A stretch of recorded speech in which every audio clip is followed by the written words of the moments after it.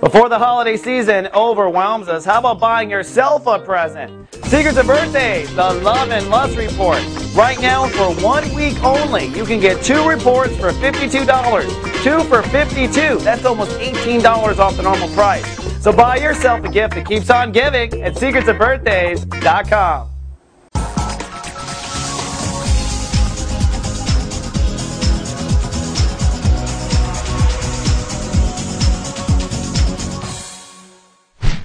Hello, producer, and welcome now to Thursday. Well, it's a two-part day.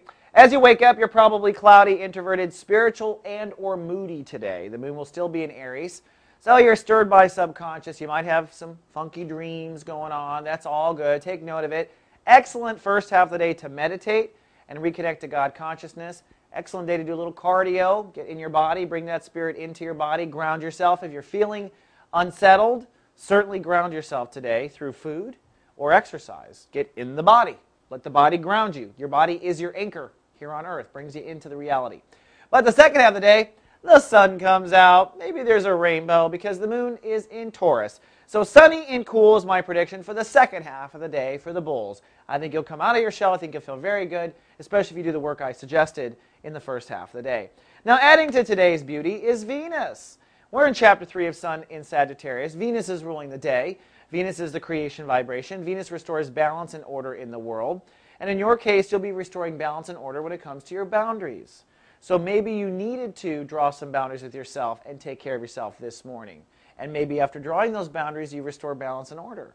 But today is a good day to set precedent, to lay the foundation of what your boundaries will be for 2011. And this really is a precedent. So, how you treat yourself. Note to myself I think, note to myself right now, I'm going to take really good care of myself on Thursday. I'm really going to lay some good boundaries where I put myself first. I'm already coming up with what I'm going to do. I'm taping this a little early. But restoring balance and order. And this also includes intimacy, too. Great day to kind of uh, just peer out and say hi to someone if you're trying to get closer to someone. Set that stage, too, for closeness as well. And it's Thursday. We've got Sadika Salters, Renegade Aromatherapist Live today. Today she's teaching about tangerines.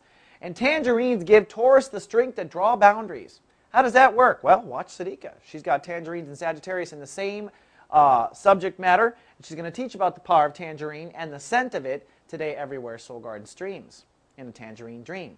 all right, Taurus. That's all I have for today. But tomorrow I've got your full weekend forecast. Until then, live, love, be.